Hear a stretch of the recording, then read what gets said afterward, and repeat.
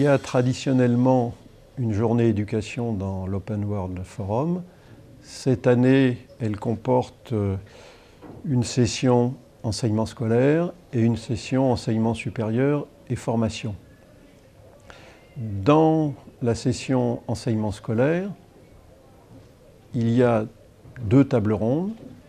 Une première qui est consacrée à l'enseignement de l'informatique au lycée et une deuxième plus classique qui est consacrée aux ressources pédagogiques, éducatives, libres et à leur modèle économique.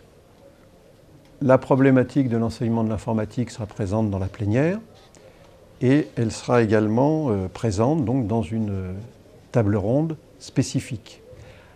Alors, pourquoi cette euh, table ronde spécifique dédiée à l'enseignement de l'informatique au lycée? Tout simplement parce que la rentrée 2012 a vu la création en terminale scientifique d'un enseignement de spécialité informatique et sciences du numérique dans environ 700 lycées. Cette création est un, premier pas positif qui en appelle d'autres. D'ailleurs, le ministre a annoncé l'extension de cet enseignement au terminal sciences économiques et littéraires.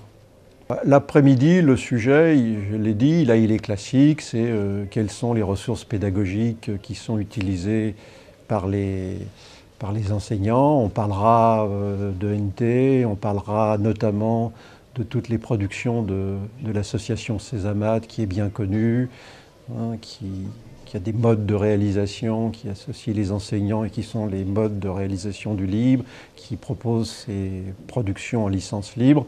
Et puis on, réfléchira, parce que c'est intéressant, euh, Césamat euh, occupe une place de premier plan dans l'édition scolaire au collège pour les mathématiques et euh, Césamat a développé un modèle économique de production de ressources pédagogiques qui est, viable et qui marche bien.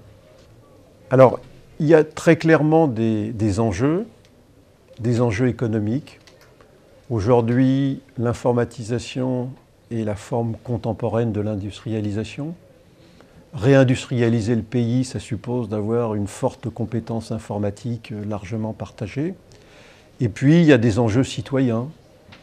On compte plus les débats euh, où le numérique est à la source du débat, euh, loi Adopi, neutralité du net, liberté numérique. Donc il y a un véritable enjeu de culture générale, scientifique et technique informatique pour tous les élèves et pour toute la population.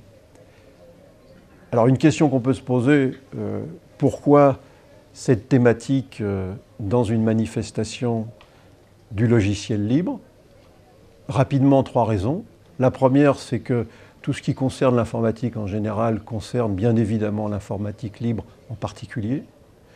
Une deuxième raison qui me semble importante, c'est qu'il y a une convergence certaine entre d'un côté les valeurs, euh, la philosophie du libre, l'ouverture du code, l'appropriation par tous de la connaissance, et de l'autre, un enseignement euh, d'une discipline informatique qui vise à, donner aux élèves les, notions qui sont en fait sous le capot.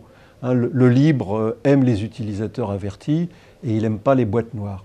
Troisième raison enfin, euh, il est important que le libre ait toute sa place dans cet enseignement au niveau de, bah, l'utilisation d'outils libres, au niveau de, ces modes de réalisation. Il faut que les élèves entendent parler, sachent que il existe une informatique libre.